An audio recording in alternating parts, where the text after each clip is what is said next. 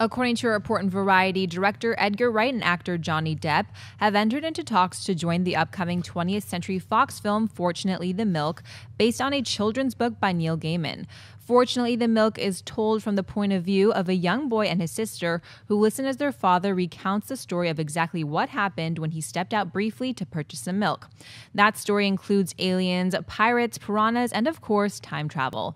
John Byers saw the sounds of Fortunately the Milk with Edgar Wright and Johnny Depp involved. I totally buy. I think this sounds delightful. I really do. I think this sounds like it could be a really fun, charming book. Edgar Wright directing it, Johnny Depp on board. I'm, I'm finally able to feel a little bit excited about things Johnny Depp's involved with again after seeing his performance in Black Mass.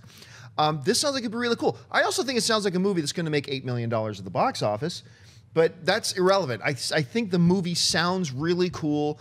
I'm excited about it, so for me, it's a buy. Mark? See, I would buy Whitey Bulger reading the kids a story about what happened when he stepped out to buy some milk.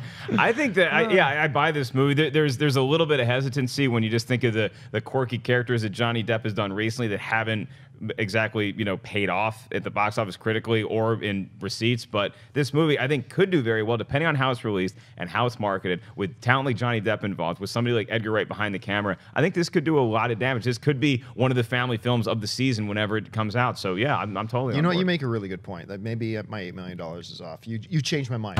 You Oh, good. mind. Yeah, I think- I said let's talk my- about the rate again Yeah, I don't think I, I don't think I buy this a whole hundred percent. I don't think the Johnny Depp version of this is going to be that kind of. I mean, if he was playing Bulger, that'd be creepy. Like, fortunately, the milk saved me. The first page. All right, kid. Remember, if nobody saw you did it, it never happened. Don't drink the blood. And then cut away to him drinking blood. Um, no, I think Edgar Wright. This material sounds perfect, and I think Johnny Depp will actually play like the regular father who all this crazy stuff is happening to. He said it before. He's doing a lot of these films now because he has kids and he wants to broaden the, his horizons. I think him just playing Johnny Depp it, and then being all these crazy experiences thrown at him, and the way Edgar Wright directs sequences and scenes.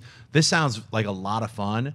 It sounds like a great fairy tale. So I, I can't wait to see it. I want. I wish it was out right now. Yeah, j- just as long as the aliens that he encounters don't turn his brain into the internet, like that. As long as there's no transcendence fingerprints in this, He has all, like I'm weird happy. braids that are all like microchips, like in transcendence. I Transcendence. can, I Yeah. can for the li- every time I think Johnny Depp now, I just think of that like mm, that mopey face on the Transcendence poster. I Like, know.